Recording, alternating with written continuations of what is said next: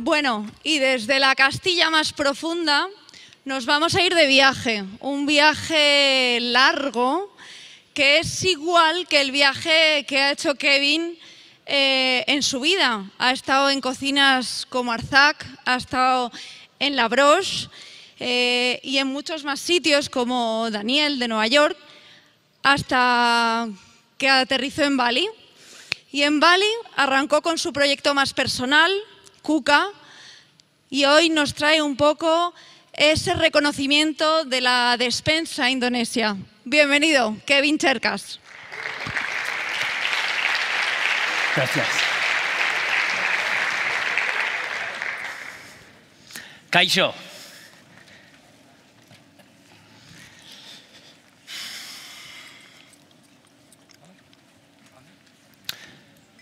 Ladies and gentlemen, chefs, members of the media, distinguished guests. I know what you're thinking. ¿Quién coño es este? My name is Kevin, and this is Budi. Say hello, Budi. All.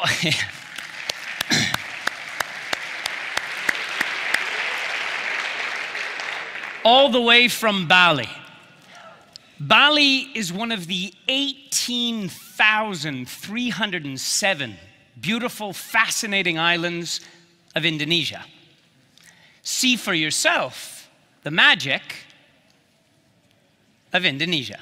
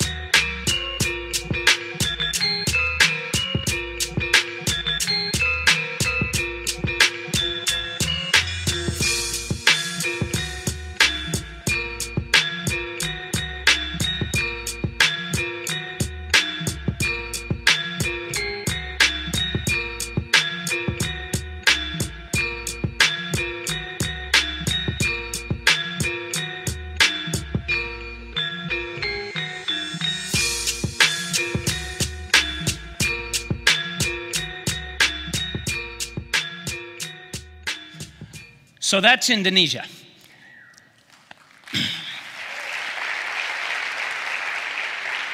Indonesia has been my home for the last seven years, but I've been cooking all my life.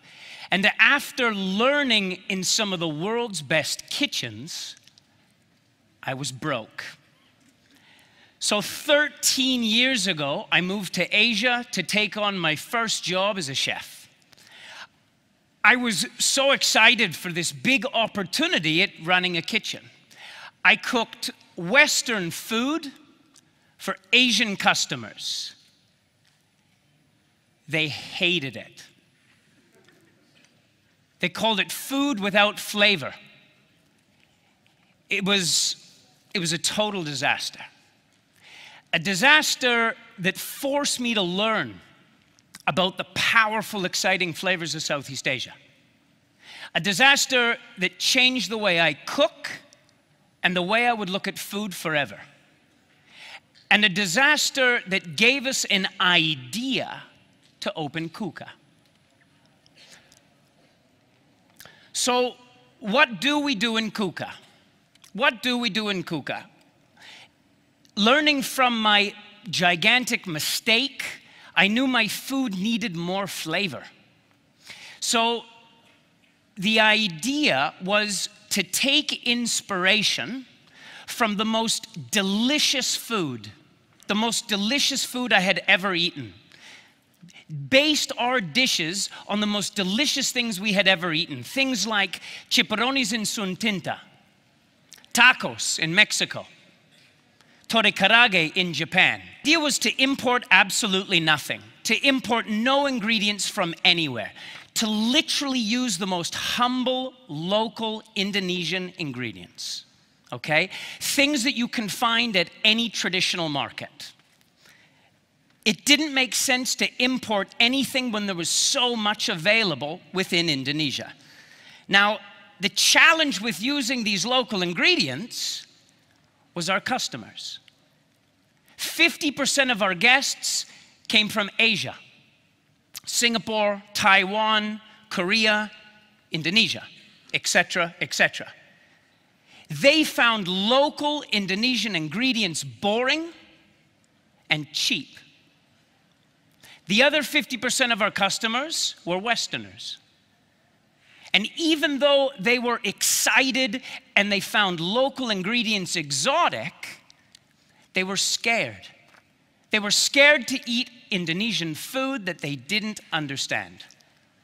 So, what we needed to do in Cuca was animate those ingredients.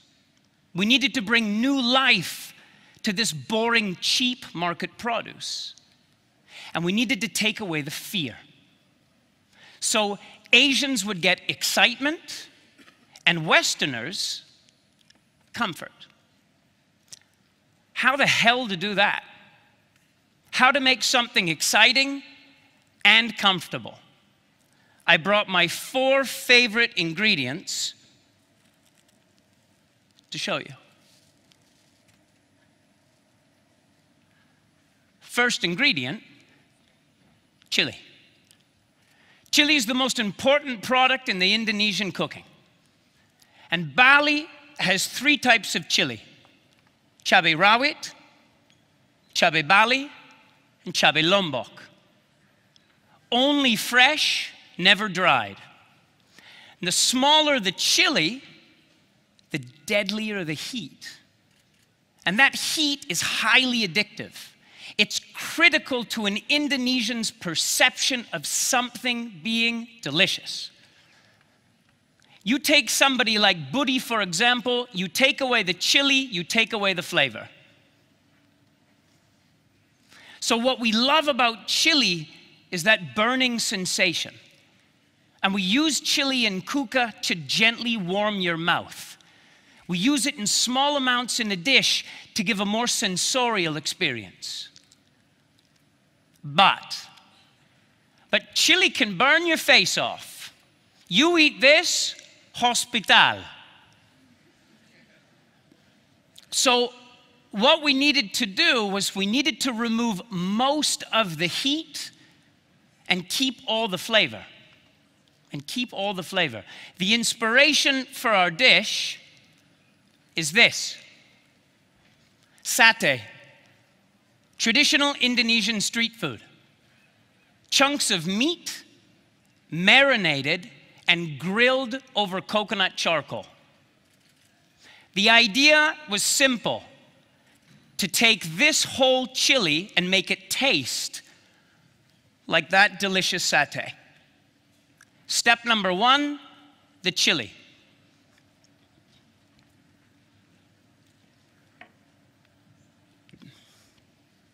Remove the heat. So, seeds out.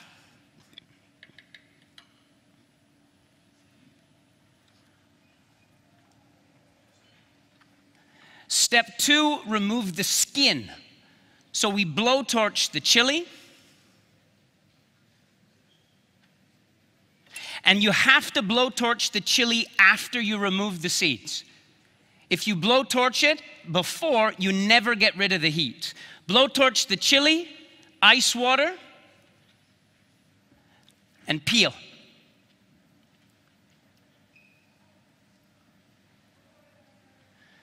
Step three for flavor, we're gonna pickle the chili. So we're gonna go vinegar, water, salt, sugar, bloop, three months. For the meat, the satay, aqui usted. Chicken.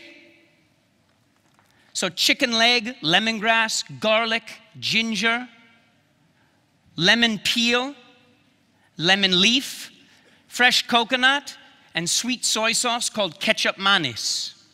This we chop, mix together. We get this. This mixture Budi is going to stuff inside the pickled chili.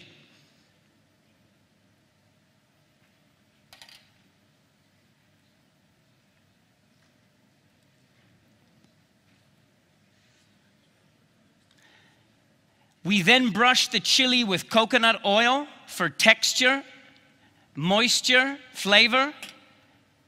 And this we bake 150 Celsius for eight minutes.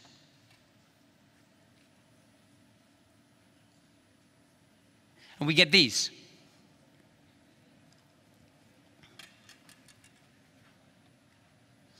After they're cooked, we're gonna brush it in charcoal oil for smoky barbecue flavor.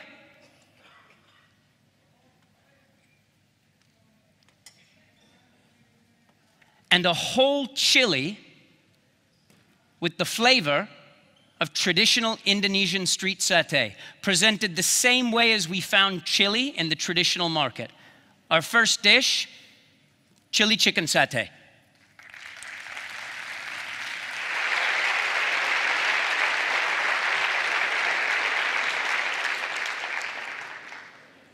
Second ingredient, kluak the seed of a fruit. Now, the trees that produce this fruit are totally wild. They're found in mangrove swamps throughout Indonesia. It takes 15 to 20 years for a tree to produce fruit. That's a long, bloody time to make fruit.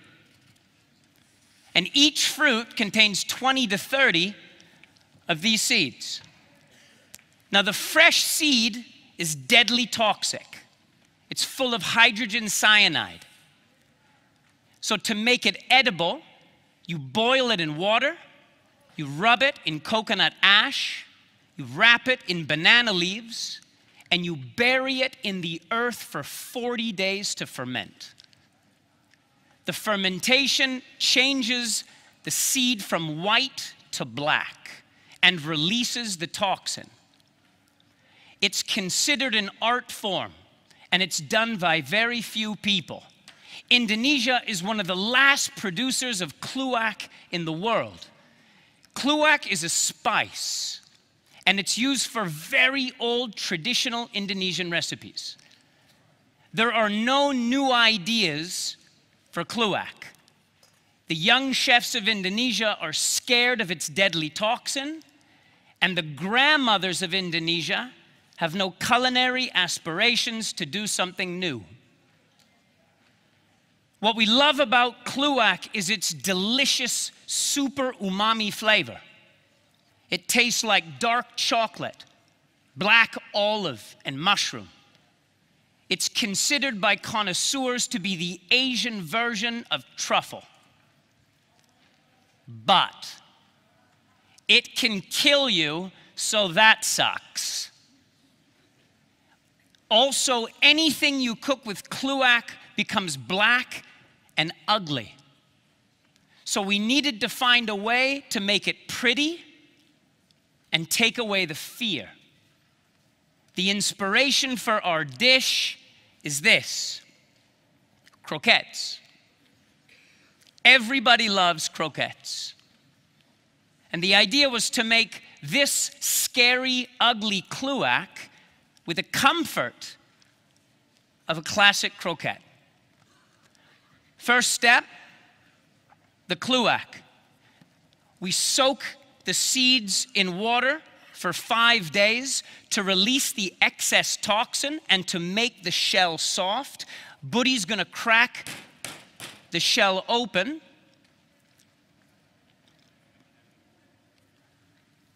And we get this like a black gummy bear. This is then dried in the sun and ground to a powder.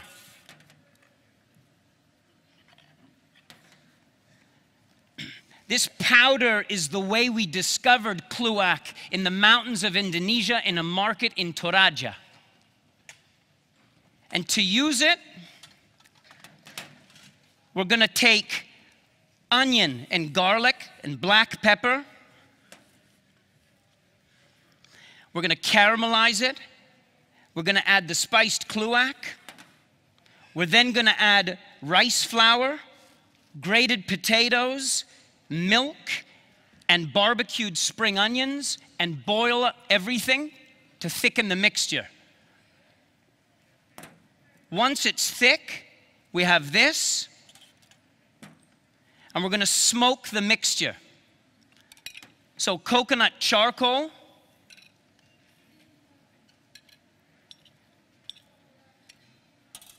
Oil.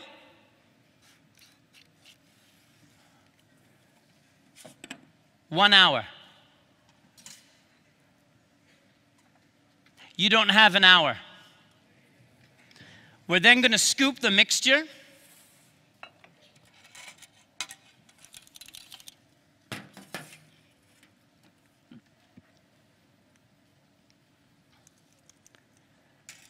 Form it, We'd bread it, and we deep fry it, 180 Celsius for three minutes. We get these. We're going to dust the croquettes with a bit of cocoa powder.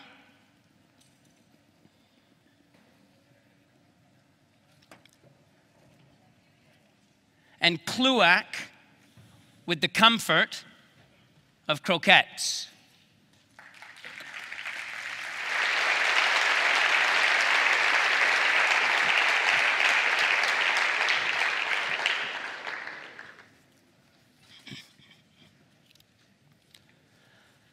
Third ingredient, krupuk, a cracker. Indonesia has the largest variety of these crackers in the world. Traditionally eaten as a snack, krupuk are made by pounding seafood like prawn, fish, or squid to a paste using a traditional mortar and pestle. Once it becomes a paste, you season this with tapioca flour, garlic, and seasoning and mix to form a dough. You shape the dough, you dry it, well, shape the dough, you steam it until cooked, dry it in the sun, deep fry it, and it puffs up. You get these crackers. What we love about krupuk is its crispy, crunchy texture. The name krupuk actually comes from the sound it makes when eaten. Huh? But they're dry. They're very dry. They're very dry. And and they're flavorless. So we needed to give them moisture and flavor. The inspiration for our dish is this a lollipop. Do you remember how excited you were as a kid to get one of these? Or how sad you were if you didn't?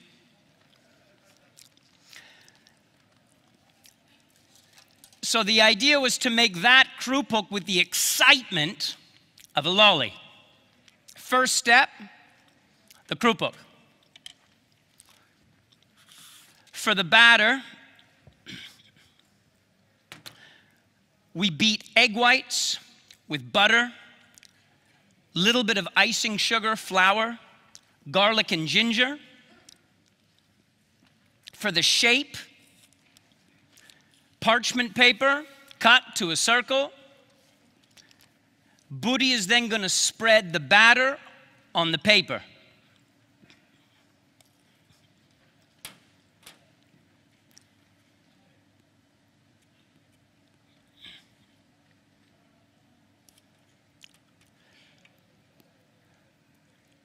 For the lolly, we're now going to start with our garnishes.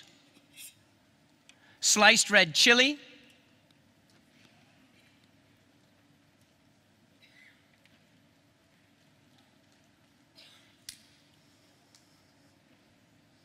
Then we're going to do small fillets of dried fish called terigiri. They're actually fillets of fish. Check this out. They're fillets of fish. This is not a whole fish. It's, it's a whole little tiny fish that's boiled in salted water and dried in the sun, and the fillets are removed. And then we're going to add curry leaves. For texture, aquí pinchalo esta, porfa. For texture, we've taken grains of rice and slowly roast them to golden brown. We then smash that rice to crumbs. And these crumbs we discovered in southern Kalimantan. This is used as a breading for traditional fish in the villages of Kalimantan. And we're going to use it for texture on our cracker. So Budi's going to sprinkle the roasted crumbs of rice. And this whole thing we're going to bake 160 Celsius 15 minutes. When it comes out of the oven, we have these. For moisture, we're going to take water,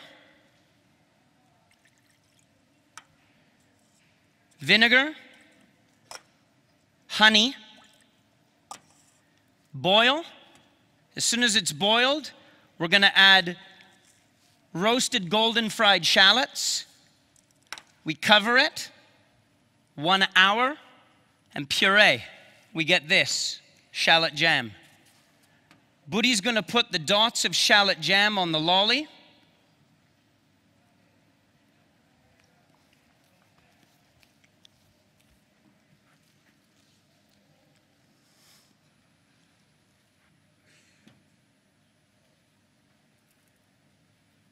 And Krupuk with the excitement of a lolly.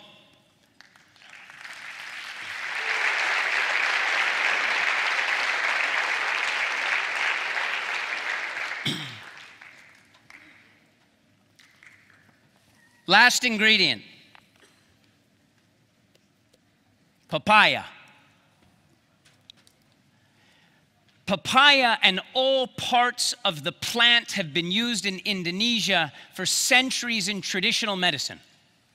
The unripe green fruit is also used in hundreds of preparations soups, salads, sauces, curries, stir fries, you name it. But fully ripe, like this one, nothing. They do nothing. They peel it and they put it in their face. That's it. What we love about papaya is they're delicious in Indonesia. I mean, delicious. It's like the sweet version of avocado. But Asians find it boring and it has an annoying glue that always makes it stick together.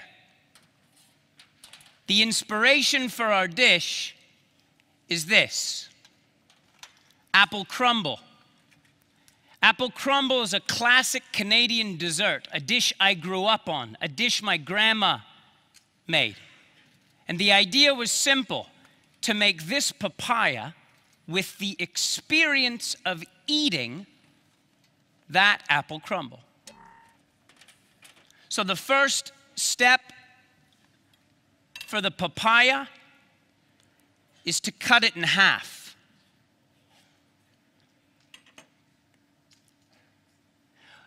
We would then remove all of the seeds, and even these seeds in Indonesia, you can use these. You can dry these and use them like you would black pepper as a spice. We would then peel the papaya and cut it in quarters. We get this. Now, I was telling you before about the glue. If you take a papaya and you cut it into two chunks,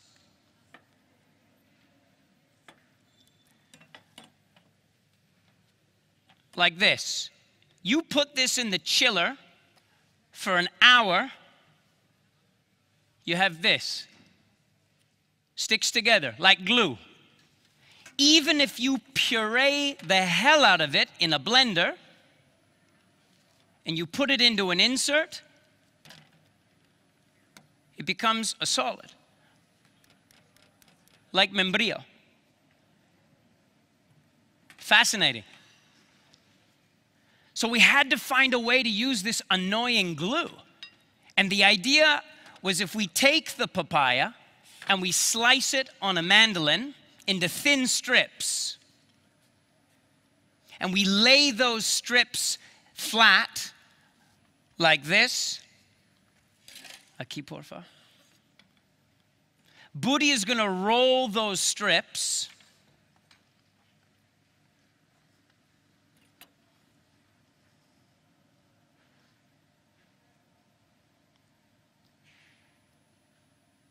It takes time if you want it nice.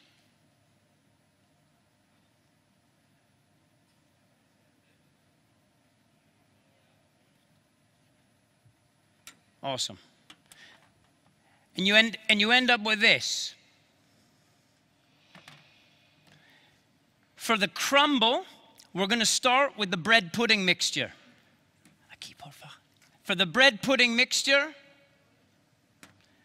we're going to juice apples with whole eggs, cinnamon, raisins, coconut sugar, and bread. Puree. We get this. This we're going to put into a baking mold.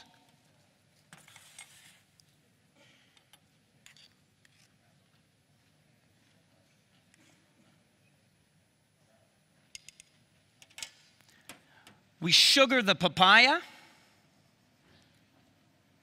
put it on top of the mixture, and we bake 160 Celsius for 18 minutes. We get this.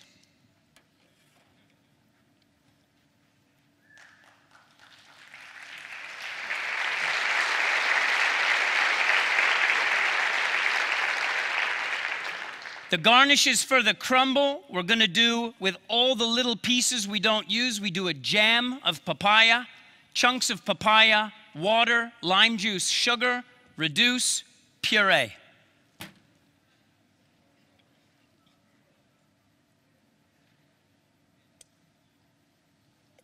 We're then gonna do a coconut cream. So fresh grated coconut,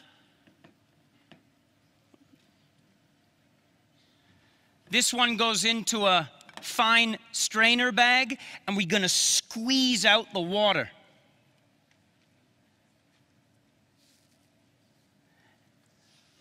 This water we season with icing sugar. We put it into a siphon, and it comes out like this.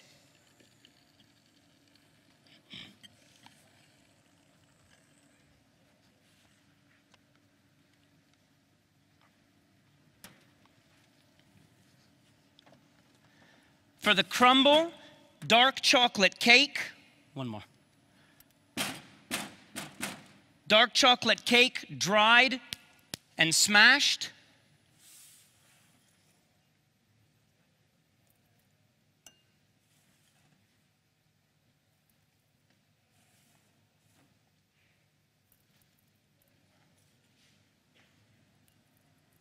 Okay, vale. Then we're going to do crispy leaves of mint. So we take a plate, we wrap the plate in plastic wrap. Can you see that? No? We wrap it in plastic wrap. We then spray with vegetable oil. We dust with icing sugar.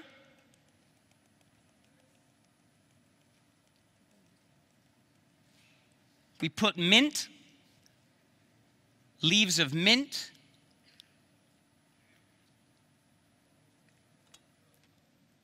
microwave, one minute. We get these.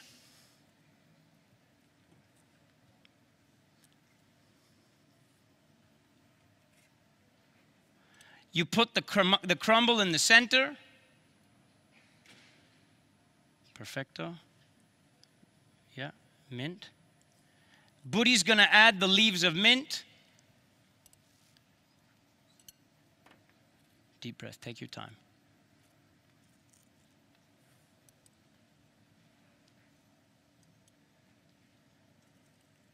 And our last, Our last dish papaya with the experience of eating a traditional apple crumble.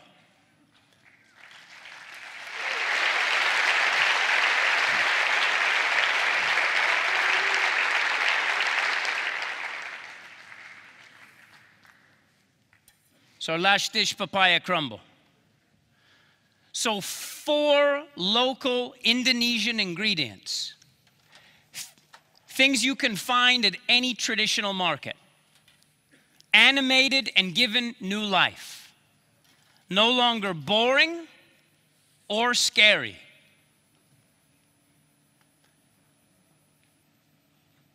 For more dishes, vacaciones, Bali, comer en cuca. Eh, perdón, y quiero decir gracias a dos, a dos personas muy importantes. Primero, mi mujer. Ella tiene una cabeza grandísima y, y eh, gracias muchísimo por hacer todo tu talento para el restaurante de nosotros. Y el segundo, gastronómica. Gastronómica, muchísimas gracias por la oportunidad. Estoy aquí hoy. Hasta 16 años yo empiezo a trabajar en San Sebastián como stagiaire en restaurant Orthac. 16 años.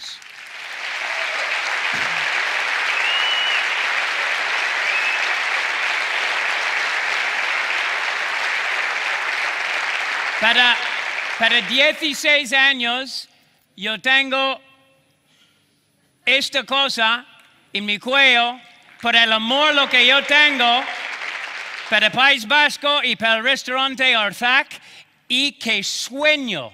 La verdad, estoy aquí hoy con vosotros para presentar los ideas, lo que tenemos en Cuca. Muchísimas gracias, eh, Gastronómica Escaragasco.